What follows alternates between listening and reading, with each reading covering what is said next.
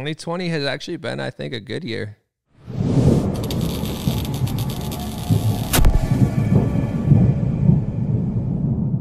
If you really want to be big at it or you really want to be successful at it, the consistency is just big. You have to be consistent, Yeah, because and you have to keep a schedule. yeah. I can see the difference in posts if I post in the morning compared to if I post. Oh, that's big. Yeah, the night. analytics. The analytics are huge. You have Yeah. to know where your audience is from. Yep. My audience is a lot do. of West Coast.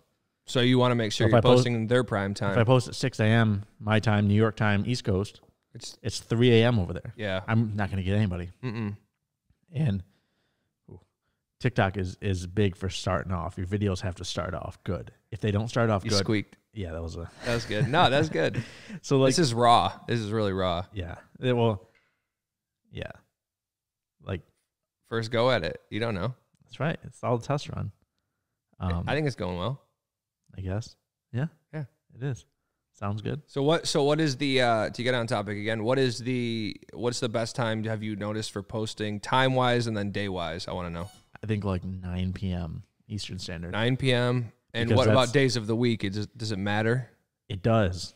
Saturday, Sunday, Weekend, late late Friday, late Friday, midnight Friday. That that was actually that was actually when I posted the one that I had that Mm-hmm. my biggest video of like 1.7 million views or something. I posted around 10 p.m. on a Yeah. Friday. because everybody's everybody's home. The majority of people are home. Yeah. The majority of people are on their phones.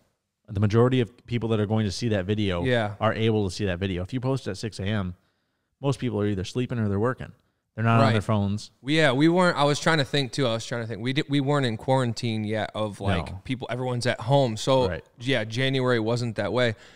I, I would also say that probably in the following months that probably did help a little bit because Yes. people were more people were on their phones more because there was less to do. They were cooped up. That was the only thing to do. Especially in the beginning of this, this whole pandemic, nothing was open. Yeah, that's The- crazy the- to think. A lot of people think everybody- this year is bad. This is a bad The year. first couple, Yeah, of, the first like year. two weeks that the pandemic started, Mhm. there was nothing was open. Everybody was home from work. It wasn't like people were going to work with like with masks or anything. It was it was brand new. Nobody it was literally was the on. essential workers, and that's, That's it. it. Yeah, that's And it. a- the majority, ninety percent of people were at home sitting on their phones, scrolling through TikTok. Yeah, the craze. 2020 has actually been, I think, a good year.